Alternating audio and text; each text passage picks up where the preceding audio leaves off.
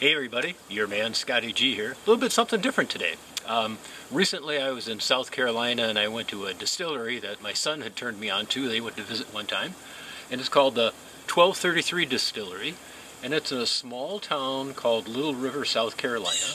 And if you head down there, you can sign up for one of their little VIP tours. And you get a tour of, of their distillery and the process they use and where they store stuff. And um, I am definitely more of a beer guy than a whiskey guy.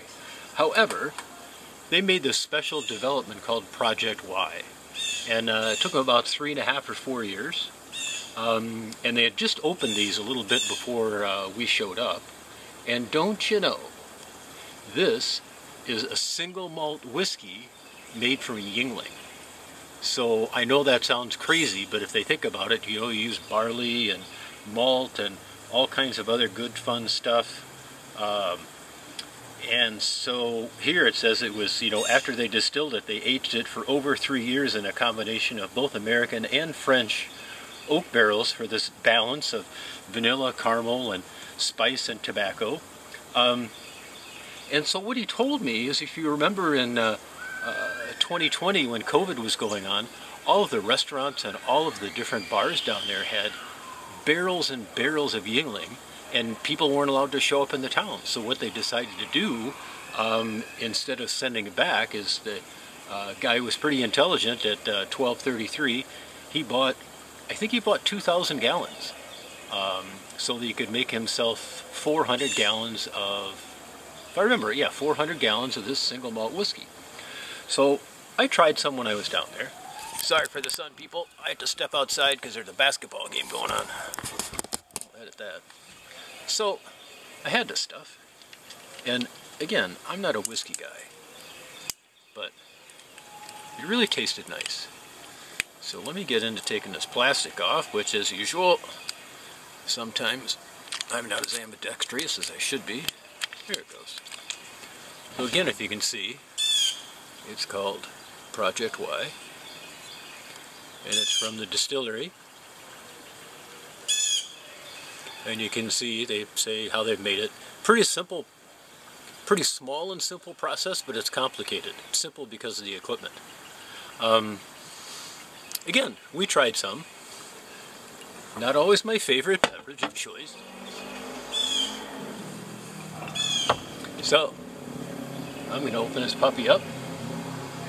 You probably didn't hear it I'm not sure if you can really smell that. Can you?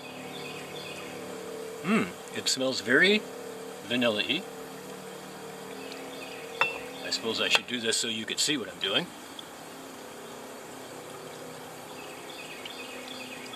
Mmm, look at how nice and dark and caramely that is. And for those of you that can't see, that's what it looks like. And I use my uh, from the top. You can almost see through because I like to use the clear ice that I make, which is really nice. People, cheers.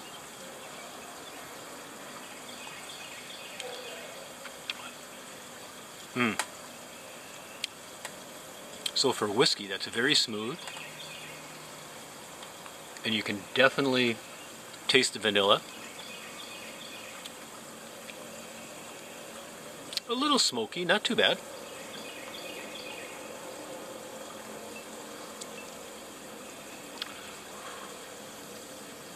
Hmm.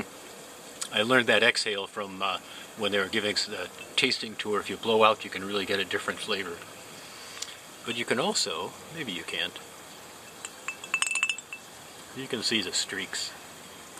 I tell you what, people, if you had the chance to get down to South Carolina, uh, again, 30 miles north of Myrtle Beach, and it's called the 1233 Distillery, because that happens to be December of 1933 when they repealed Prohibition. That's how they came up with their name. Uh, so, that is so dark, so dark and caramely. Oops. That was bad. That's so dark and caramely. It is going to go great with something out of this pack.